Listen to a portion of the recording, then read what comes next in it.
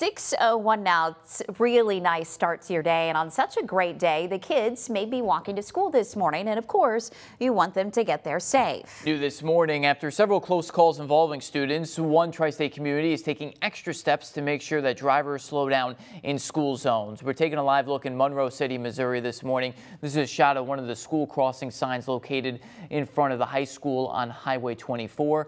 Now police bought two of these new brightly colored school crossing signs signs right there to put in front of both the high school and the middle school. School administrators say they take school safety obviously very seriously, and they hope this added measure by the police department stresses the importance to parents and all drivers to watch out for kids in the area.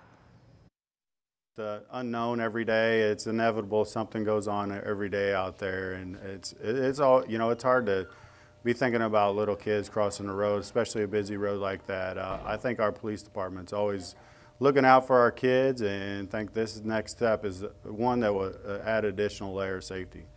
And police say they did make the decision to install those extra signs after they had three to four close calls where kids almost got hit just in the first month of the new school year.